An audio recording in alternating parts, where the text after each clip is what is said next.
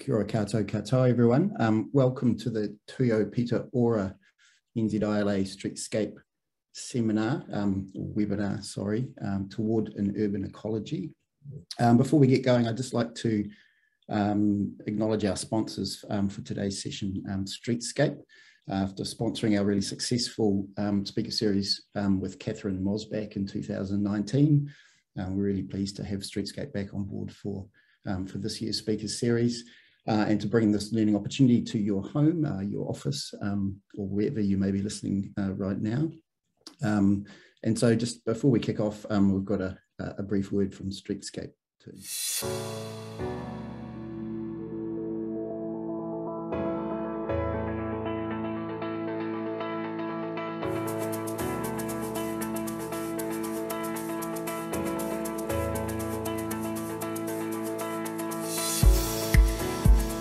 Streetscape is New Zealand's leading manufacturer of quality street furniture,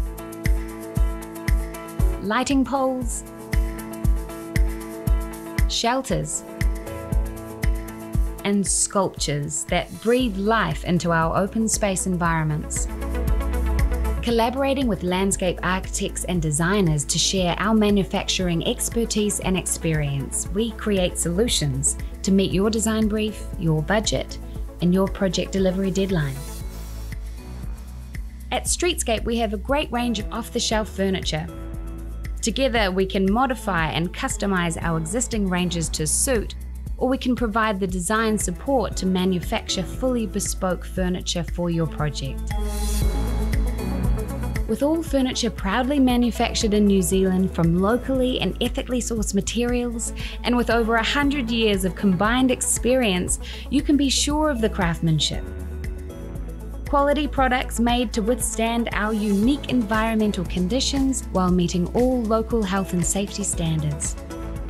Local doesn't just mean local knowledge and local jobs. It also means reduced lead times and a local team who manage every step of the way with you to see the project from your concept through to final delivery. Aotearoa, New Zealand, these are our places, our communities, our environments, and we want you to enjoy them the way you imagine them.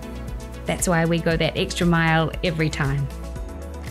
Streetscape, turning your imagination into reality. Streetscape, in conjunction with the NZILA, are proud to sponsor the Streetscape Speaker Series. Thanks again to Streetscape for um, their sponsorship. Um, firstly, just a, a, little bit of housekeeping. Um, we will have some time for um, question and answers at the end of the presentation. So um, if you have questions, um, jot those down into the Q&A menu, which I think is in the bottom right-hand corner um, of your screen. Um, and we'll run through those at the end. Um, so look, it's my pleasure um, to introduce our speakers for today's uh, webinar. Uh, firstly, um, Kate Orff. Um, we've been trying to get her for a while, so we're really pleased to finally um, have the opportunity to do so. Um, Kate's the founding principal of Scape. I'm sure um, you've come across Scape in your travels. Um, Scape are well known for leading complex, creative and collaborative um, project and, and, work processes that advance broad environmental and social uh, prerogatives. Um, Kate focuses on retooling the practice of landscape architecture relative to the uncertainty of climate change and creating spaces to foster social life, which she has explored through numerous publications, activism, research, uh, and of course projects. Um, Kate's going to discuss Scape's high-level practice with a particular focus on coastal processes and climate change. Uh, and joining Kate um, from the office um, in, in, New York, um, Tama Whiting, uh, one of our own um, going great guns overseas. Um, Tama is a designer at Scape and a graduate of the Victoria University of Wellington program. Tama seeks to integrate and adapt ecological systems into the built environment and has a keen interest in exploring cultural narratives with local communities. Uh, so today Kate's going to present um, on Scape's broad approach to landscape design, demonstrating how to move beyond familiar and increasingly outmoded uh, ways of thinking about environmental, urban and social issues as separate domains and advancing and advocating for the synthesis of practice to create a truly urban ecology. Kate will discuss a range of participatory and science-based strategies that advance urban ecological design through the lens of Scape's work. Uh, and following Kate Tama um, will talk to uh, one of their recent projects, uh, the Tom Lee Park, uh, as an example of Scape's approach um, to design. So um, without further ado, um, welcome Kate and Tama and uh, over to you, Kate. Thank you so much for that introduction. I hope everyone can see my screen.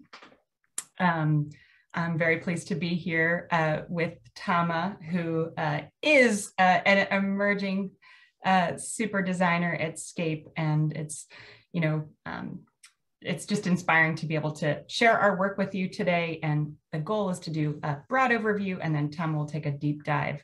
Um, he has uh, an incredible kind of personal history and background, and uh, it's people like Tama that make Scape the office what it is. We're a dynamic group so um, I am sort of trying to reset uh, the practice of landscape architecture relative to the global landscape emergency. I feel like we've all been trained very well to specify this product and to select, you know, to sort of make beautiful parks and playgrounds. We have to keep doing that.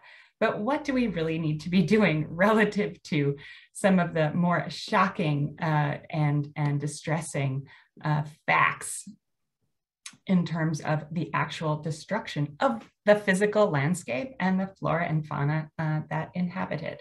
Um, and, and for example, you know, a million plant and animal species at risk of extinction, wetlands disappearing three times faster than forests, the Living Planet, Planet report revealing an incredible decline. I was born in 1971. So during my own lifetime, two thirds of decline in wildlife populations uh, since that time.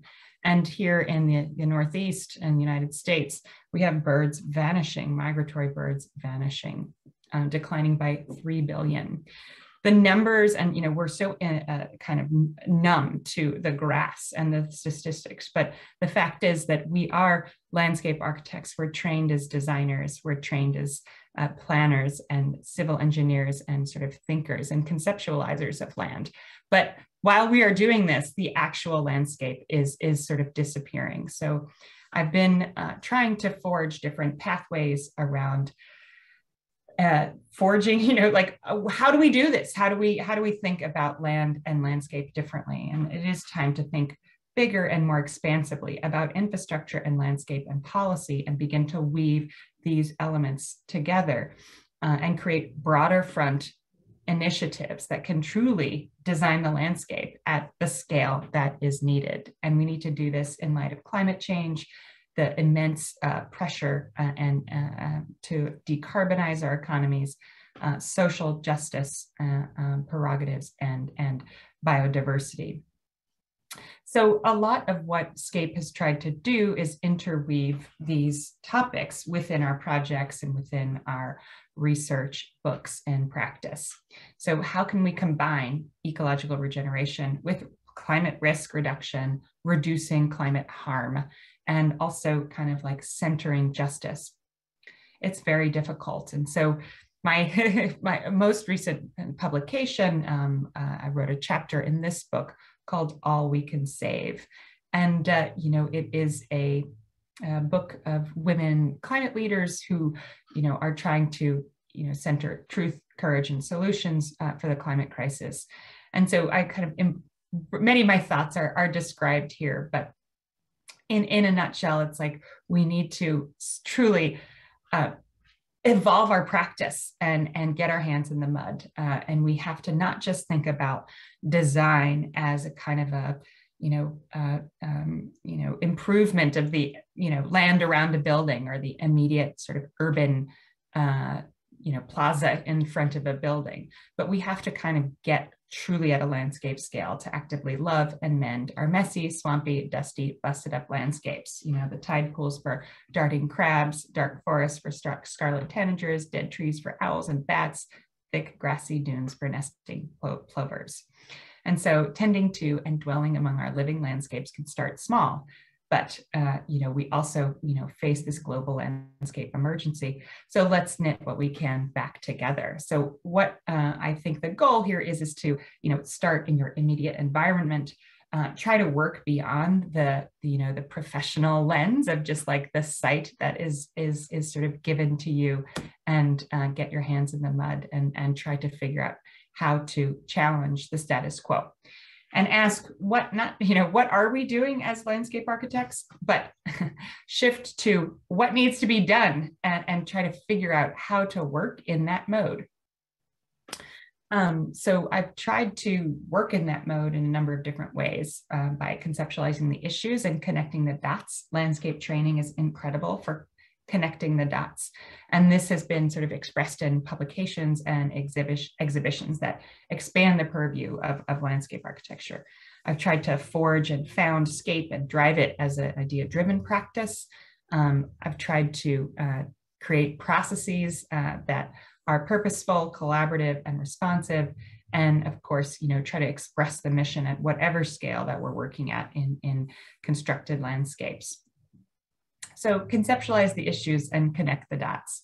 I feel like often landscape architects are, you know, missing sometimes the broader geography or, or territory uh, in terms of, you know, our analysis sometimes is just delimited to the site, which is on our drawing table, right? But this project, which was called Petrochemical America, uh, began to look at the American landscape writ large. And uh, so uh, this is an image that I took uh, in Cancer Alley, which is in Louisiana on the Gulf of Mexico.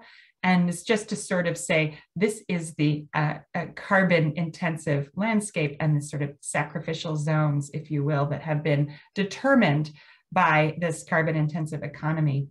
And this book project called Petrochemical, and I hope you have it in a library or something, it's going into his its third reprint. And so we'll have new copies. It's sold out now, but we'll have new copies on soon, uh, was a collaboration with the photographer Richard Misrach. And so Richard sort of traveled uh, this zone between Baton Rouge and New Orleans and began to photograph.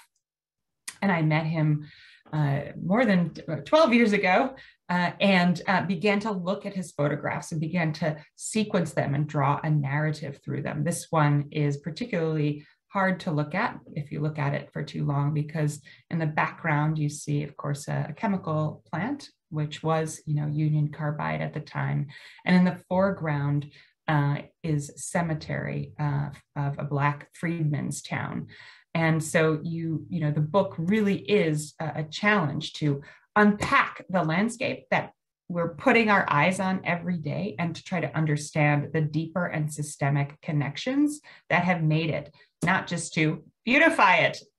We cannot do that any longer.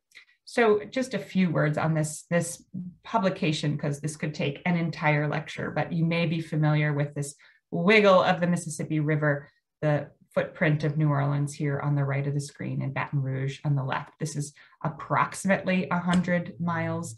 And so you know, we began to unpack the physical landscape and understand how it began to transform from an early Mississippi with a sort of a meander and, uh, and uh, floodplains and uh, dwelling mounds of indigenous peoples to being slightly straightened um, and farmed as uh, incredibly brutal uh, plantation with enslaved peoples, uh, farming indigo and cotton and then how that those plantations were sold to uh, industrial uh, behemoths uh, companies, and then uh, that has created this alarming juxtaposition that you see in this image here, where you had big factories next to very small African American towns.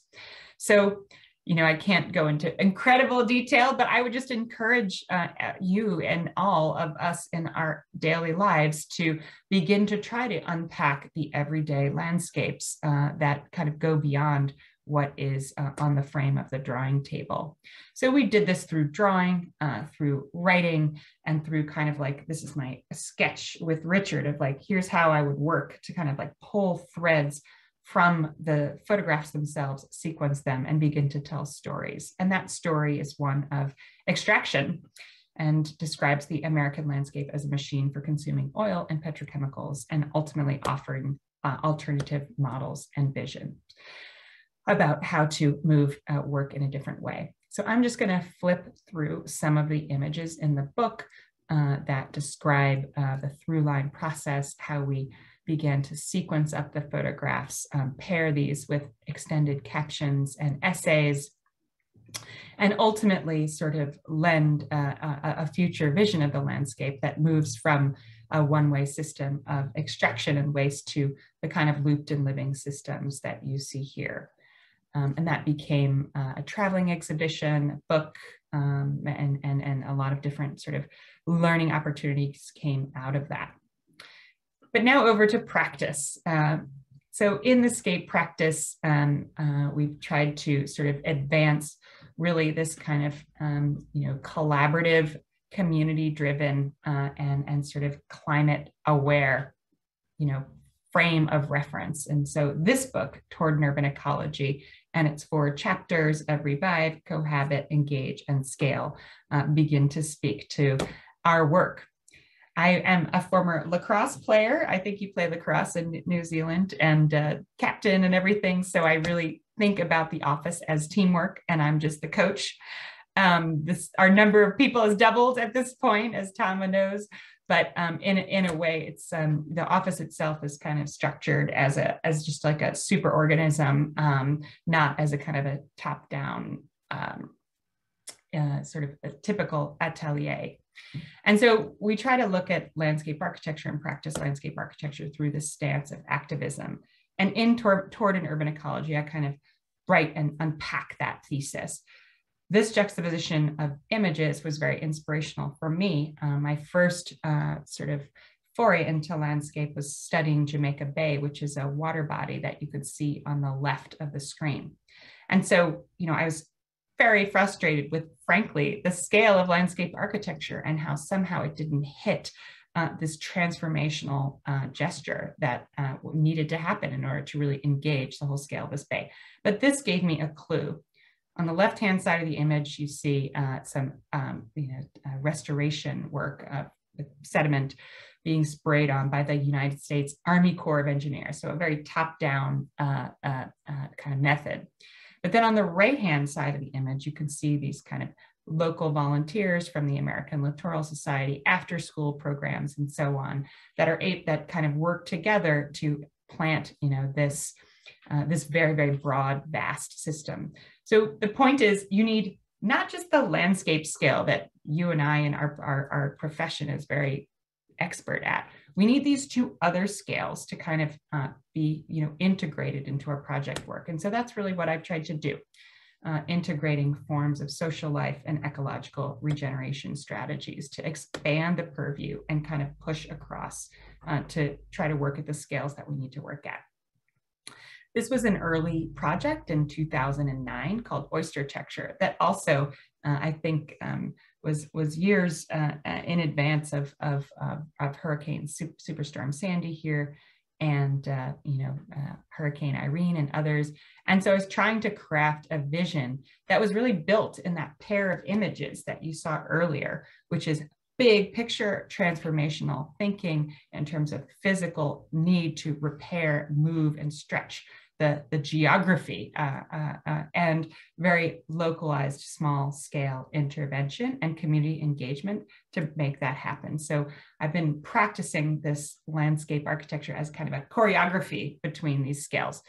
Here you can see New York in the background, and then the concept of oyster texture was to create a kind of a living reef, a community-based reef that cleans the water, slows the water um, uh, and kind of protects inland communities that you can see here on the right.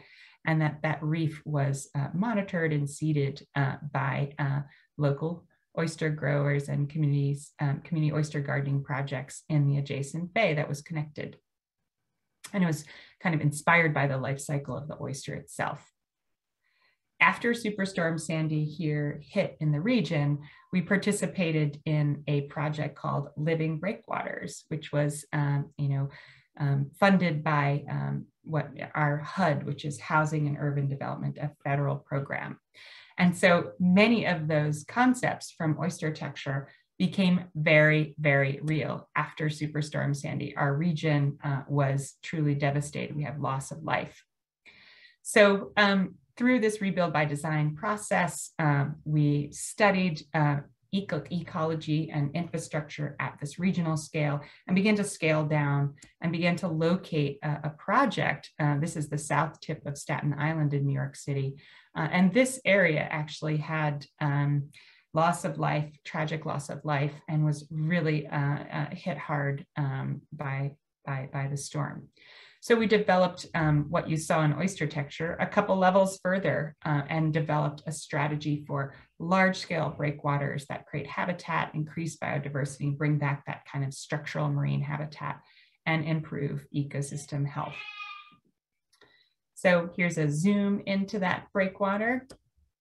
And we piloted uh, five different kinds of urban oyster restoration techniques. You can see them here. This is the largest urban restoration project, I believe, in the United States at this time.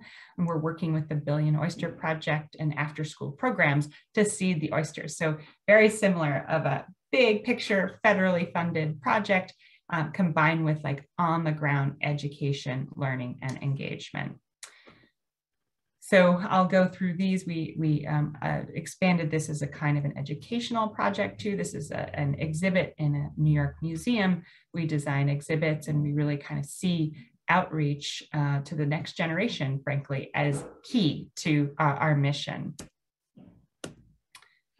So now just down just to tr transfer to scaling ideas to the built work. I mean, we have work all over the New York region and now uh, all over the United States. And it ranges from like a very small pocket park. This was done maybe eight years ago um, to, you know, plazas, you know, that we're trying to kind of capture and filter water, rip out the pavement where we can and uh, kind of renature the city uh, we try to express like local ecology where we can. This is a project of ours in, in, in Brooklyn that kind of traces the, the, the pull and the, the kind of movement of the glacier uh, across this very, this very piece of ground uh, through pavements and patterns and, and through integrating kind of this rewilding of the city. We try to bring uh, the forest into the city. This is a plaza that we built in, uh, in New York City. We try to delete the grass, delete the lawn wherever we can. This is a project for the headquarters for the United States Golf Association.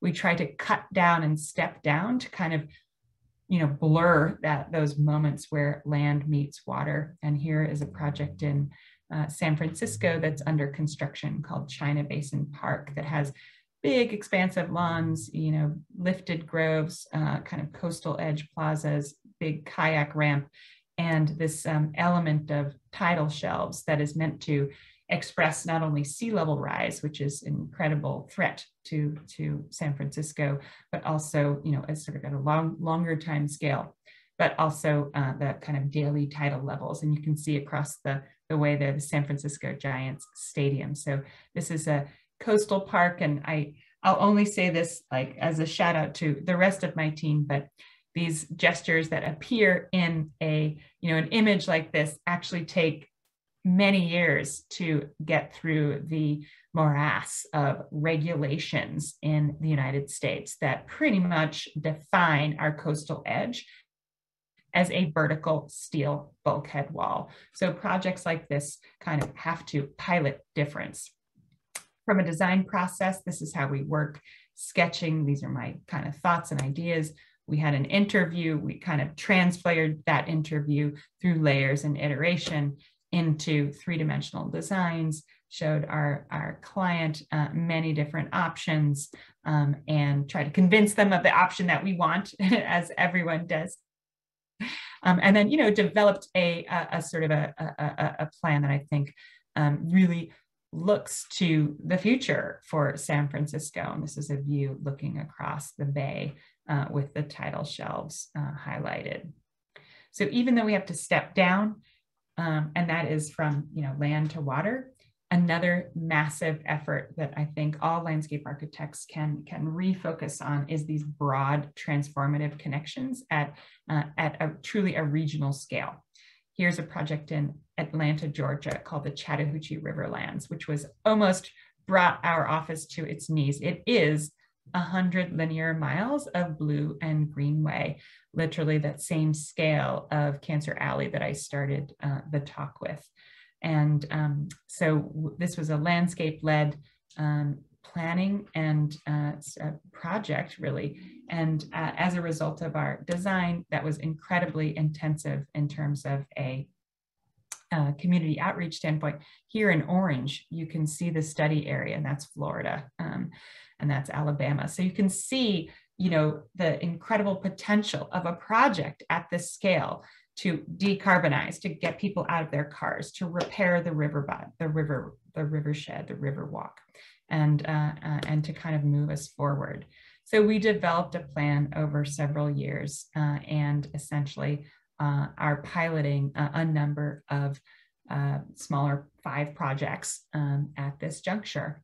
And it's really these expansive connective landscapes that I think are, are truly the, a big part of the future of our profession.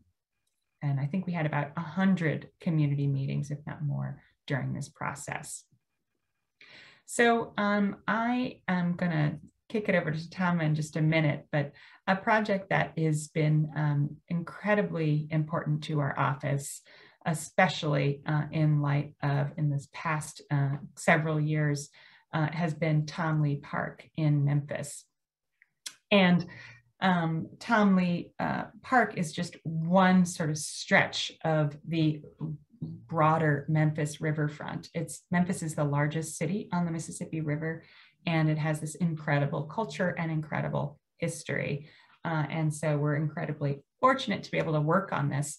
Uh, and we worked on it for a while, and then COVID hit, and then we had uh, the Black Lives Matter movement, which was truly um, a, awakening and a kind of a reckoning here in the United States.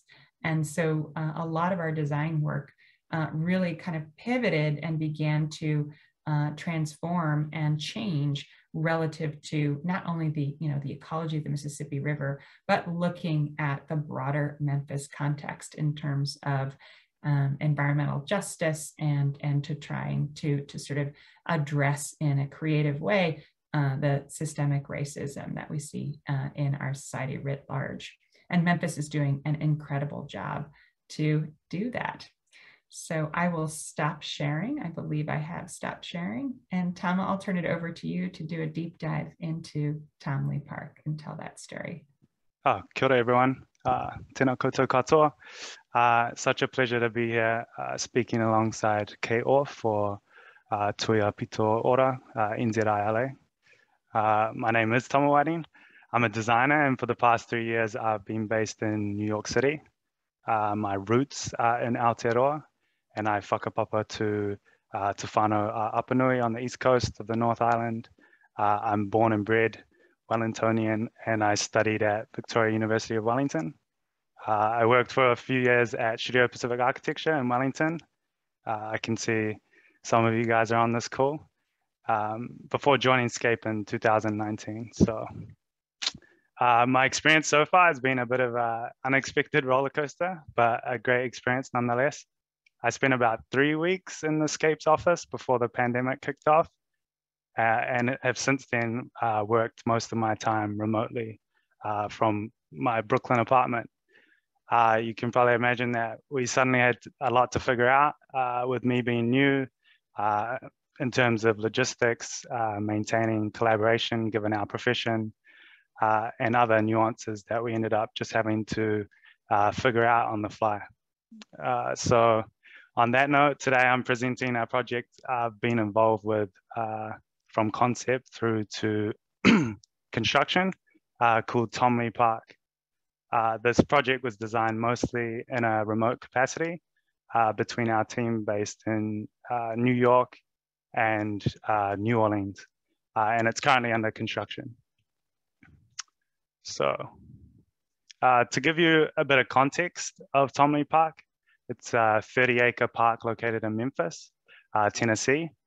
It's on the edge of the Mississippi River and it faces towards uh, Arkansas on the other side. Uh, the site is reclaimed uh, land that was built by the uh, United States of America, oh, sorry, United States Army Corps of Engineers. Uh, you can kind of see this dike wall. it's basically holding this all of this land in place and stopping from uh, washing down the Mississippi. Uh, the rest is mostly lawn. uh, with a path network and a few random trees around the car park. Uh, this land is home to uh, seven First Nations tribes, uh, two of which still have a strong presence in Memphis, uh, the Chickasaw and the Cherokee Nations. On the left, uh, some images showing it as part of the major shipping route uh, during the industrial age. and it also played a part in the dark history of the land with the slave trade. Uh, the photo on the right shows the site before it was built up. So who, who is Tom Lee? Uh, Tom Lee is a hero, uh, a selfless uh, African-American man who worked on the river.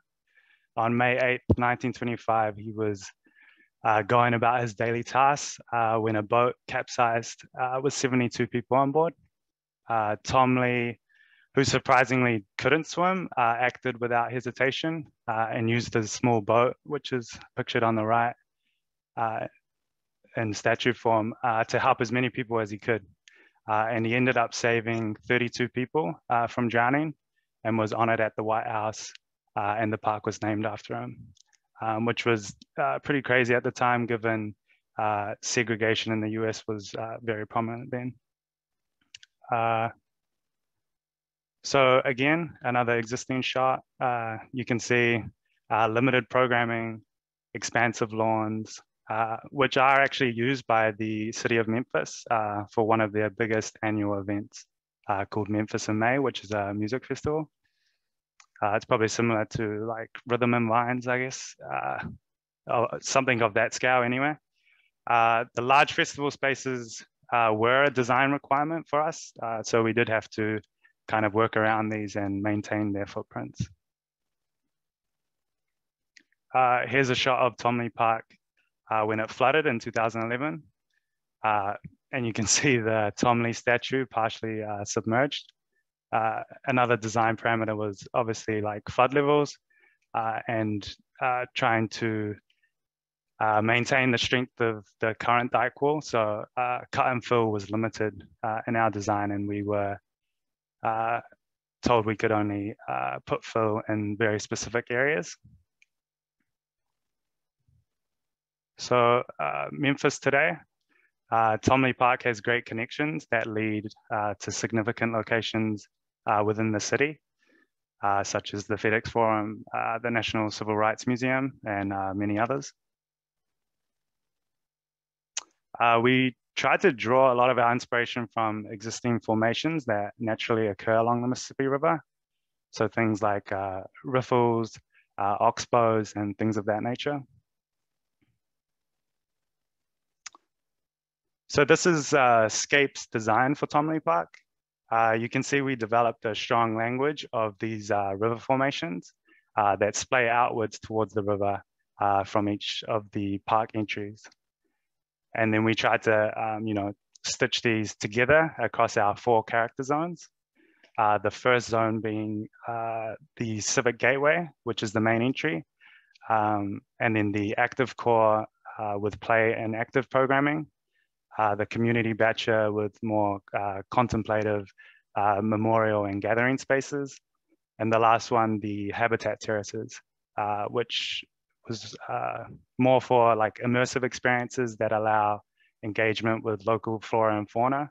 And it's actually where part of this oh, part of this dike wall actually failed down this back end here. Uh, so it wasn't maintained and you actually see a lot of this uh, natural vegetation kind of creeping back through. Uh, and there's a lot of mature trees there. So again, uh, some of our goals were to improve access to the park, uh, reinforcing these urban connections back to the city, uh, and bringing people down from the bluff uh, to the river. sorry. Uh, creating a legible hierarchy of access routes that uh, tie into neighboring city parks uh, and path networks. And then stitching everything together to create a cohesive design that transitions between uh, active and passive park programming, um, revealing and creating knowledge about the Mississippi River and its uh, overlapping histories.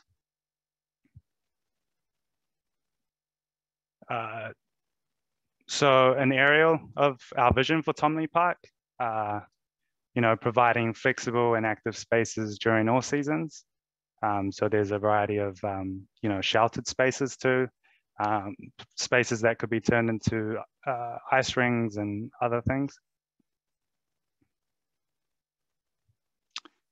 So diving into more detail, uh, starting with the Civic Gateway. Uh, here we're emphasizing um, this is the main entry to site, uh, trying to frame these views uh, and bring people down off the top of the bluff uh, to engage with the river edge. Uh, and we used an accessible switchback that leads into a kind of formal civic space with a water play feature. Uh, this is a this plan view shows how we had to work with uh, the existing structure on site, which was it's called uh, Beale Street Landing. Um, and we tried to embed this into the landscape fabric, um, which actually works well because it complements the civic nature of the space, uh, being a hub for uh, drop-offs, and it also facilitates uh, ferry and boat rides on the river, which is like uh, this bit. So uh, some construction photos of the switchback. So this is all accessible um, all the way down to the bottom. And you can see this uh, kind of dramatic grade change between the top of the bluff and the park. Uh, some locally sourced stone uh, being laid. Uh, the switchback was designed to imitate naturally occurring striations that you see along the Mississippi. And uh, as more of these get placed, you'll be able to see as you move up the bluff that these stones uh, actually change tone and color. Um, this is a view of the civic area uh, with a misting water feature um, that can be turned off for a variety of other activities. Uh, we couldn't do cut and fill in this zone given the proximity to the dike wall um, and complications that extra loading might cause. Uh, so the next zone is the active core. Here, our focus was to centralize all of the active programming. Uh, we wanted to create a play destination that was inclusive of a variety of age groups and demographics. Um, the pavilion was designed by Studio Gang architects and, uh, sorry, the civic canopy and the pavilions were designed by Studio Gang. Um, the pavilions being these uh, kind of pods here, and they're intended to provide food and uh, beverage services.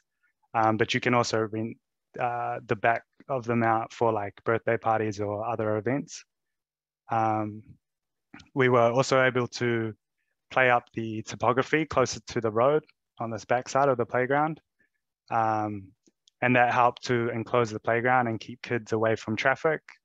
Uh, and while also focusing the views uh, back to the river's edge. So construction happening today. Um, they're beginning to work on some of uh, those landforms closer to the road. Um, but we probably won't any we won't we probably won't see any dramatic change for a few months still.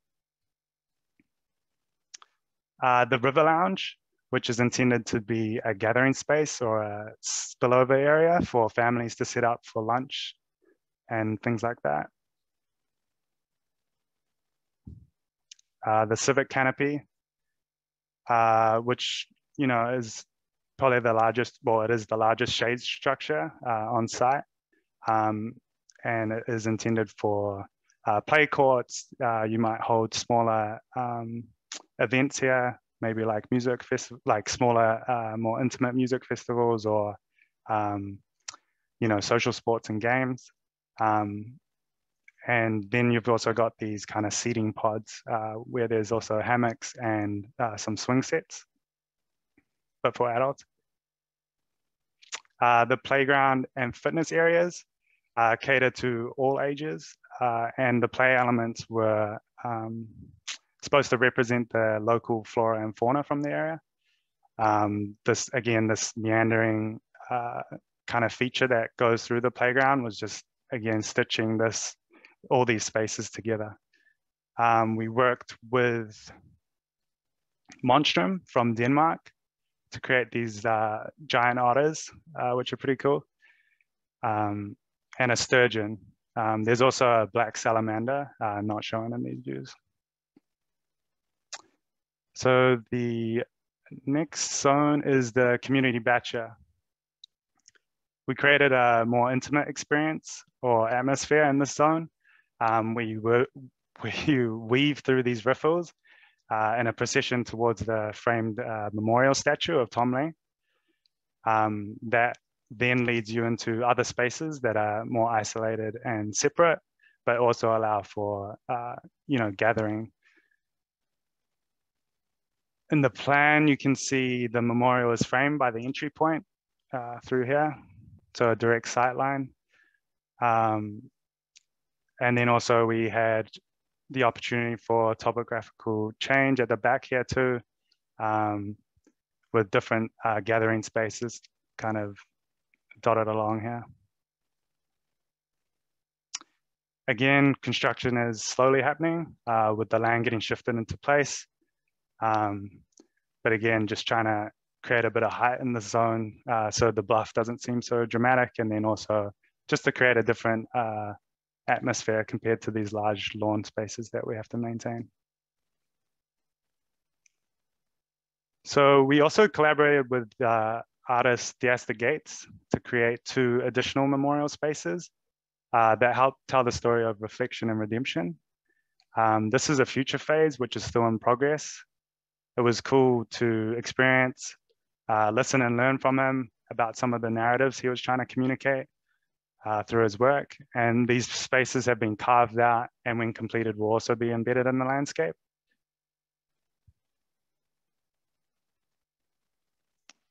Um, again, the framed view of Tom Lee statue as you enter. Uh, and then again, emphasizing key views out to the river um, with the bridge in the distance, uh, while also considering, you know, passive surveillance uh, over some of the path network that passes through uh, denser vegetation. And lastly, the habitat terraces. Again, framing the views through uh, some of the mature trees that exist down there. Um, it's more of a naturalized um, area with a lot of um, natural uh, flora there. And in plan a series of immersive spaces on this part of the site um, that allow for outdoor learning, uh, interaction, you know, on the ground interaction where there's like step downs, um, log scrambles to really get uh, people moving through uh, this kind of forest area, forested area. Um, this area, because the dike wall did fail, down this area, like a lot of the natural vegetation has kind of like crept into the park here. Um, so we're trying to maintain that aesthetic and, you know, just interplant a lot of native species and try to bolster that um, more naturalized feeling moving through there. So a view of the pollinator lab, which is kind of built into this uh, decking structure. Um, again, views out to this canopy walk in the distance and then also to the river and bridge, beyond. Uh, yeah, so thank you guys. Um, that is Tom Lee Park in a quick overview. Um, if you have any questions or you know want to learn more about what it was like remote working for the last 18 months, feel free to email me at tama at. And you can also reach me on Instagram I know a few of the younger students have reached out before asking for portfolio tips and stuff like that. So feel free to reach out. I don't bite. awesome. Thanks. Um, thanks, Kate and Tama. Um, I guess everyone's kind of dream project, isn't it? A kind of a, a coastal um, parkland with um, with um, some rich context and, and history. So um, thanks for sharing that with us. Um, um, I'm going to try and run some Q&A. So if people have got questions, please um, um, drop them into the um, Q&A box down the bottom. Kate, um, maybe you could just talk a little bit about um, in in your office and, and how that works and and and some of the different I guess kind of skills and areas of, of expertise that, that you have that enable you to kind of work so broadly and, and kind of differently. Well, interestingly, I, have been reflecting on this a little bit, um, and uh, I, I, have well, per, uh, from a personal standpoint, and then from the the, the the, the the broad range of people that that contribute to the office. So I, I have a background in um, political and social thought. So that was my uh, undergraduate. So I was really thinking I was going to be a writer or a sculptor or mm-hmm. environmental, you know, activist or something. And then I kind of veered into landscape architecture, realizing I'm sure as many people did, like, wait, you can get paid for that. And that's a profession. It wasn't something that was, you know, very obvious to me growing up. So I do feel like having a kind of an analytical or conceptual approach to to the landscape combined with just a lot of work experience is is, is something that's quite quite powerful um, and then uh, during my my my career personally, then I kind of shifted to teaching urban design. So I think that sort of forced a larger scale of of uh, uh, context, I suppose, and and and putting you know it's looking at landscape architecture in relationship to a lot of other things, maybe local economy or uh, land development, etc. So those, those I think have been useful in kind of keeping a tension with landscape architecture. And folks in the office, um, you know, for example, we have a planning principal who uh, spent many years uh, in an engineering firm, like I don't want to say on the dark side to any engineers who are on the call, but it sort of felt like on the dark side. And then we we pulled her over into landscape, and so you know she has incredible knowledge of permitting and and uh, you know, uh, and uh, processes. Uh, we have, you know, people who um, have horticultural expertise. So I, I kind of mentioned that I try to run Scape as like a as a team, like a soccer team or, or, a lacrosse team, if you will.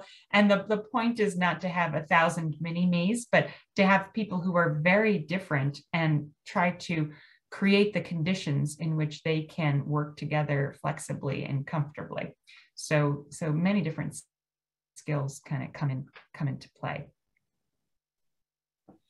Good. Um, got a couple of questions coming through. Um, um, one here about um, about the park project, um, and, and, I know we, we, always have challenges in, in, this part of the world, sort of with um, reclamation and, and, kind of declamation, which is always sort of controversial. But looks like you know made some quite significant changes to the to the kind of coastline on, on that project. Um, maybe you could talk a little bit about a bit more about that. Tama well, there, yeah. yeah. I'll I'll do two minutes and I'll kick it to you, yeah. Tama, for timely. But in, interestingly, the um, in in the in the U.S. context, um, you know, I, I would say you know the waterfront is the most contested ground. It is bar none, you know. So the San Francisco park that I showed that's under construction was actually cutting into the landmass, which of course had been filled, as I'm sure much of the urban land has been filled. So in that, um, in the case of China Basin, we were kind of scooping out and stepping back from the, you know, the bulkheaded shoreline. Tom Lee was a slightly different, you know, I like how, you know, Tama said the dike wall failed. I'm always like, the dike wall succeeded. but in, in, in, in a funny way in, in Memphis, uh, we were quite constrained, weren't we, weren't we, Tama, because we couldn't really uh, touch that dike wall because of the, um, uh, you know, the sort of regulations that were in play with the Army Corps. So we ended up kind of piling up and trying to capture a lot of stormwater behind it, but we weren't able to truly cut in and modify the shoreline. Is that right? Yeah, we we that is right. We actually didn't touch the dike wall at all. Um, we would have liked to have made some tidal shelves or we tried really hard down elements. Yeah. we uh, rejected. Uh, but yeah, we actually didn't touch the dike wall at all. So all of our programming and park enhancements were all kind of set back. Uh, we actually had a 150 foot offset uh, from that dike wall, uh, which had zero cut or fill. So um, yeah, I guess that if that answers your question, uh, we weren't really able to get that over the line. If yeah. Uh, the um, maybe a, another question would be around perhaps you know the the, the way in which and, and Tama you might have some observations on on what's the same or, or different I guess in terms of um, you know working with the, First Nation communities and that sort of consultation and, and collaboration that that happens on on, on your projects um, in terms of what what's the same or similar um, in terms of how we operate in Aotearoa versus um, versus the states. Yeah, I think it's uh, very different uh, I think we have a kind of a bit of a privilege in New Zealand, seeing as we, you know, not only we're kind of like the last place in the world to kind of be colonized uh, fairly recently and establish a treaty, um, even though you know the treaty wasn't necessarily um, followed until more recent times. Um, I, th I, think we've just got a more um, well, we also have a smaller population, right? And we're also not state run. Uh, so each state here operates differently. So it is hard to uh, start those conversations and get the right people involved, right, with projects. Um, I think it's a slow game, and I think uh, we are moving in the right direction, and that's evident with you know the Black Lives Matter movement, and then just you know people being more aware of um, some of the privileges that we have within not only our industry, but in other industries and how we need to enact change to kind of push those agendas.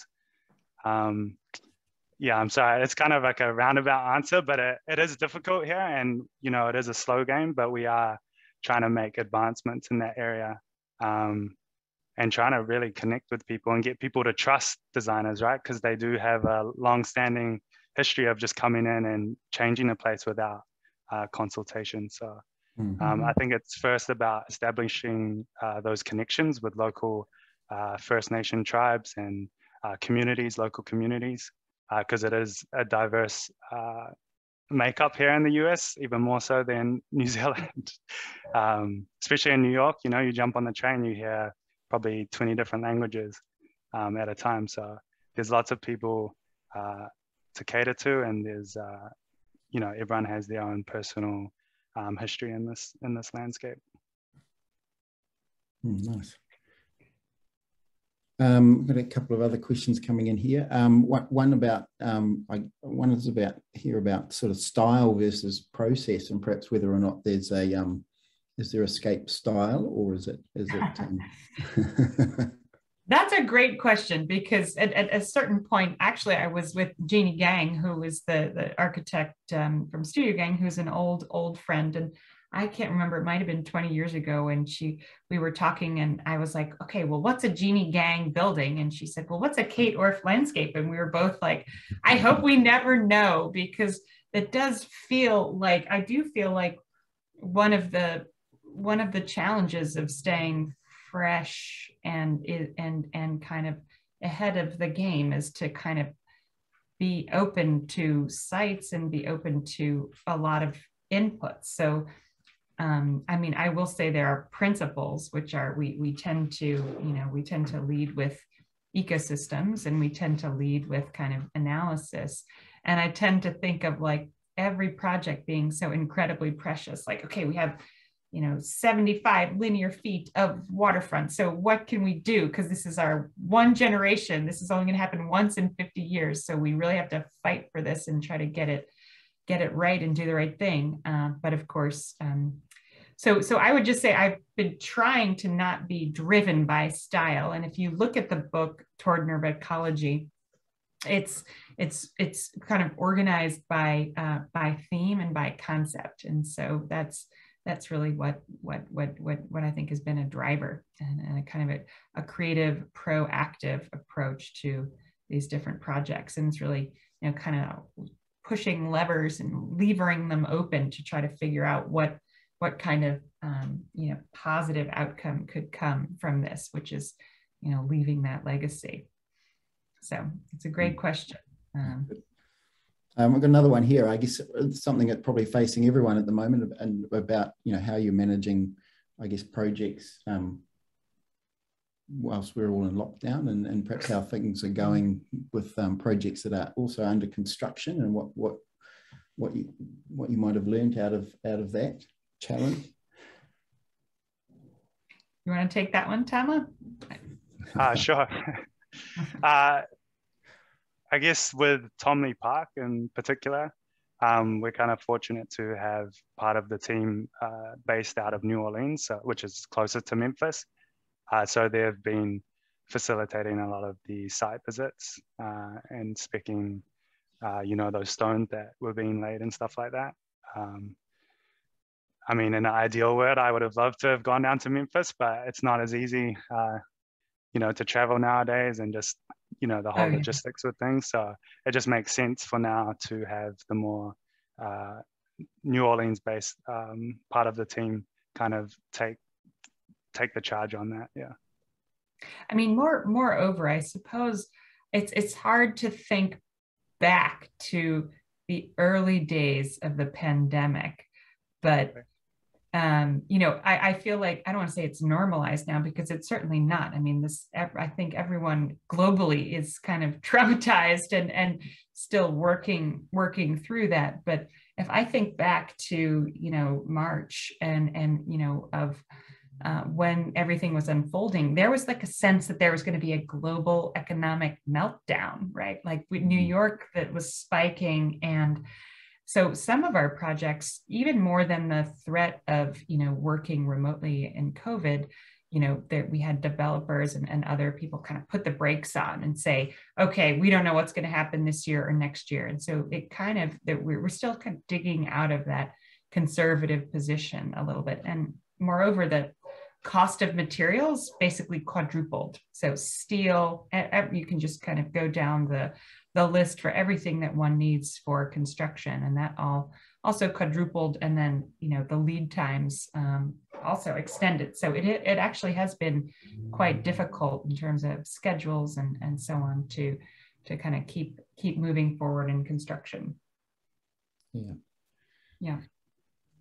Um, we might probably have time for one more. Um, there's one here Kate, about um, so what, what led to your interest and involvement um, in relation to the um, Mississippi Delta, but I mean maybe beyond that as well. Um, you know, you, you do a lot of coastal work. Is that was that sort of intentional or uh, accidental?